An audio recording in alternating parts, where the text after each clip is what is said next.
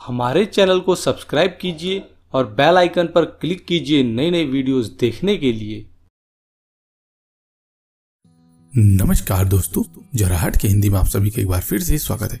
दोस्तों, यदि आप इस छोटे से एक आसान से उपाय को कर लेंगे तो इससे आपकी चट मंगनी पट ब्याह होने के योग बन जाएँगे।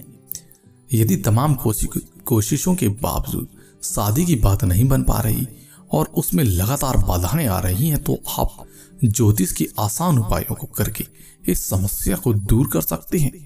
वैदिक ज्योतिष में बताए गए सनातनी उपायों को करने से विवाह के मार्ग में आ रही बाधाएँ दूर हो जाती हैं और विवाह जल्द संपन्न हो जाता है। विवाह में आ रही बाधाओं को दूर करने के लिए सोमवार या गुरुवार के दिन अनार की कलम से बेल के पत्ते पर ओम नमः शिवाय लिखकर शिवलिंग पर अर्पित करें। साथ ही साथ एक माला, ओम नमः शिवाय मंत्र का जप करें। भक्ति भाव से 21 सोमवार या गुरुवार को इस उपायों को करने पर विवाह के योग बन जाते हैं। यदि आपकी शादी की उम्र हो गई है और तमाम कोशिशों के बावजूद बात नहीं बन पा रही तो शीघ्र विवाह के लिए प्रतिदिन स्नान ध्यान के पश्चात पार्वती चालीसा का पाठ करें। साथ ही साथ प्रत्येक सोमवार के दिन भगवान शिव को दूध से अभिषेक करें। यदि किसी व्यक्ति की तमाम कोशिशों की एक अच्छी जीवन संगनी की तलाश खत्म हो पा रही है तो इस मंत्र का जाप करें।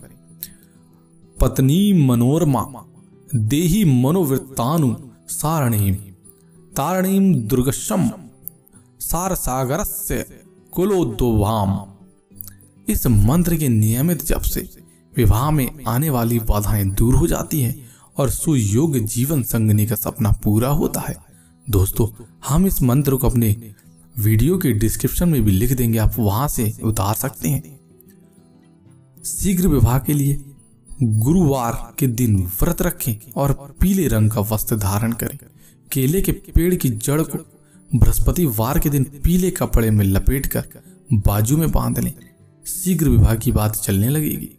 यदि विवाह में ज़्यादा बाधाएँ आ रही हो तो भगवान श्री गणेश को पीले रंग की मिठाई का भोग लगाएँ और प्रत्येक गुरुवार को नहाने के पानी में एक चुटकी हल्दी डालकर स्नान करना चाहिए। यदि आप इनमें से कोई भी उपाय करते हैं तो निश्चित रूप से आपके विवाह के योग बन जाएँगे। और विवाह की बात चल पड़ेगी तो हमें उम्मीद है कि आज की वीडियो आपको काफ़ी पसंद आई हो यदि आज की वीडियो आपको पसंद आए तो आप इसको अधिक से अधिक लाइक और शेयर करना ना भूलें। और इसी प्रकार की वीडियोस देखने के लिए आप हमारे चैनल को सब्सक्राइब करना ना भूलें। धन्यवाद।